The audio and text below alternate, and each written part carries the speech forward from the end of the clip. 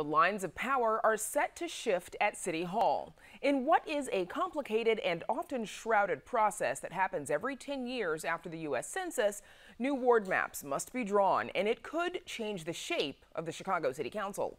Amanda Vinicky joins us now with more on where this process stands. Amanda, lots of remapping going on after the census. Yeah, Brandis, it is a year for new maps everywhere. There's already a new map for Illinois House and Senate districts. And then the state legislature is in charge of drawing new congressional boundaries, but they're putting that duty off until fall. Chicago is under its own timeline. And in the case of the city, it is still relatively early. Still, Alderman Roberto Maldonado says things are happening. Definitely, discussions have started. Uh, at this point, um, um, we still do not have the map room. Um, the city is in the process of acquisition of the software so that we can start um, drawing the potential maps um, that we all would want to have.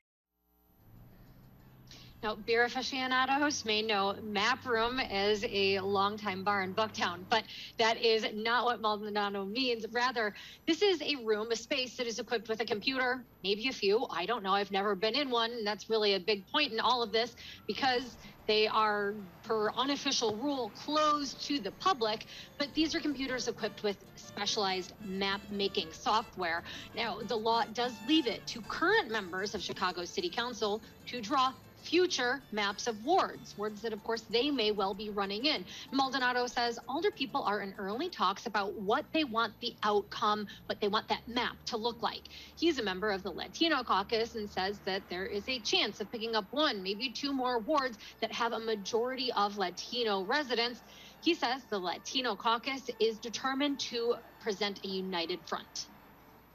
I'm going to be looking out first and foremost for the interest of the Latino community at large in the city of Chicago so that we can really and truly get a fair a fair map. Not not not like we did 10 years ago. We were shortchanged 10 years ago by the previous mayor at the time mayor emanuel. We would not allow that to happen again he says that he is going to engage with constituents, with local stakeholders as negotiations progress. And then when a map is drafted, the public will have a chance to give input. But there is a commission totally separate from the city council that is taking a more preemptive and more transparent approach last week beginning holding a series of meetings some virtual others are going to be hybrid. All of these have a sign language and a spanish interpreter option that is seeking public input on the new map.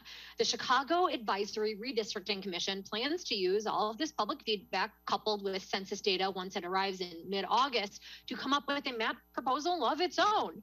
The group change illinois helped to organize this commission and chandra van dyke is the chicago project manager? We believe it should be an independent process where residents have uh, some power in it, right? Some voice in it. Residents should be a part of this process, and it shouldn't be done in a back room. That typically, uh, that room doesn't involve every alder either, which means there is a lack of representation. There's a voice missing at the table when those decisions are being made for the the, the greater public. But just who is on this commission? She says that in the spring, some 430 people submitted applications to be part of it. And then leaders, and you can learn who on the website chicagoswards.org, picked 13. Van Dyke says they were chosen with a mindset toward reflecting Chicago's geographic, age, and racial diversity. And then the goal is to get a map drawn by fall, get more public input on it, make revisions, and then hope that at least 10 members of the city council will give it wings. A Portage Park resident was one of the few who gave public testimony at a virtual meeting held last night. Dan Butterworth says he lives in the 38th ward, but with so many other wards nearby, he says the various alder people who represent the area often pass the buck. If I walk two blocks from my house or east, I'm actually in the 45th ward. Uh, a ward I might add is full of energy, vibrancy. If I walk six blocks south from there, I'm in the 36th ward. If I go two more blocks, I'm in the 30th ward. Unless, of course, I'm on the west side of the street. Then I'm actually in the 31st ward.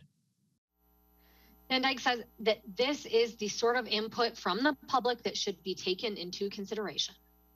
And it is people who live in these spaces every day who knows boundaries and understands the territories in their communities and how their communities function. And that's why it's important to have their voices so that we don't put people in a situation where we're, we're putting lines in the middle of their communities, which splinter things in a way that they can't come together and organize. They can't come together and get resources. They can't advocate for better things in their community because they have to go to four three, four, two representatives who sends them in circles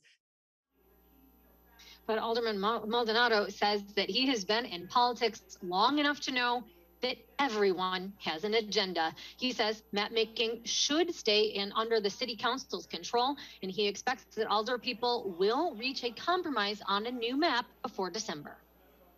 I don't believe in independent commissions because independent commissions, by definition, should be independent. They won't be independent. Uh, those members will be appointed by somebody.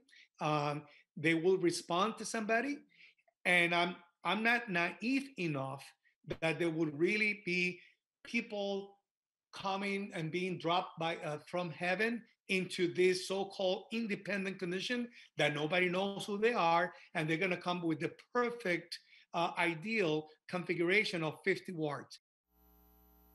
Now, as I mentioned, going back to the state level, Illinois Democrats did pass a law that establishes new boundaries for state legislative districts, but it may not actually be the final map. It is facing two lawsuits. One is from Republicans, the other from the Mexican American Legal Defense and Education Fund. So we'll be watching that. Brandis, back to you. Amanda, thank you.